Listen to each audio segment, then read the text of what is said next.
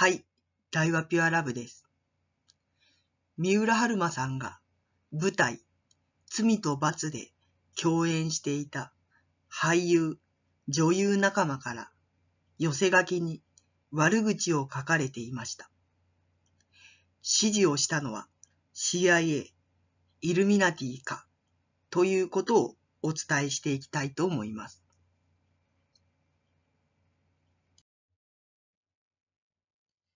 三浦春馬さんが出演していた舞台、罪と罰で一緒に共演していた俳優、女優の方などが、三浦春馬さんの追悼飲み会をされていたんですね。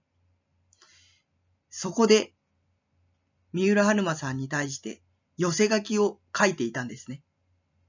うん。で、その寄せ書きと、みんなでね、追悼飲み会をした時の様子をネット上にアップされていたんですが、それがちょっとあまりにもひどいということで、ネット上では炎上していました。このね、えー、三浦春馬さんに対して共演していた俳優や女優の人たちが書いている寄せ書きに悪口が書かれていたんですね。うん。えっと、首元にハートマークが書かれていたりとか、えバカ野郎っていう風に書かれてたりとか、まあ、あとその三浦春馬さんへの中傷するような、えー、内容のことがね、寄せ書きに書かれていたんですよね。うん。まあ、はっきり言って、ね、追悼飲み会でこういうようなね、あのー、悪口とか誹謗中傷を寄せ書きに書くっていうのは信じられないですよね、本当に。これは本当にありえないことだと思います。うん。またね、この追悼飲み会っていうこと自体がなんか失礼ですよね、ちょっとね。うん。で、しかも、その写真がね、こちらになるんですが、写真もどうもね、なんかこう、失礼な印象を抱かせる写真なんですよね。これがその写真なんですが、まあこう、悪口をね、寄せ書きに書いたのを真ん中に置いて、で、みんなでこう笑って写真を撮るっていうのは、まあ、すごい見てる人からすると印象が良くないですよね、これは。うん。まあ、これらのね、ことを見てもわかるように、この俳優の人とか女優の人がね、あの、自らやったとは考えにくいんですよね、これは。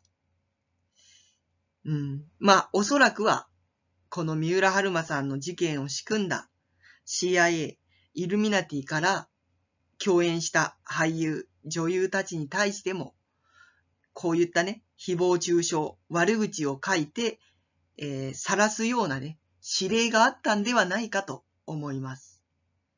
うん。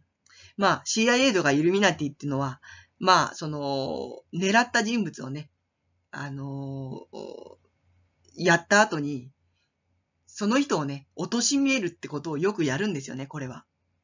うん。あの、例えば、東電 OL 殺人事件もそうだし、福島弁送内開始もそうですね。うん。まあ、えー、東電 OL の人は、あのー、ね、全くやってもいないんだけど、なぜかね、メディアによって渋谷でね、あのー、立ちんぼのようなことをしていたという報道をされましたし、うん。で、ね、あの福島弁送内開始では、覗きをね、やってたという覗き犯の汚名まで着せられてしまったんですよね。うん。というようにね、あの、うん、その、亡くなってからね、貶めるというのは、これはまさに CIA、イルミナティのほんとよくやる手なんですよね。うん。ということで、まあこれは本当にまあ、あってはならない、言語道断のことだと思います、本当に。うん。ご視聴いただき、ありがとうございます。チャンネル登録や高評価、コメントなどよろしくお願いいたします。ありがとうございます。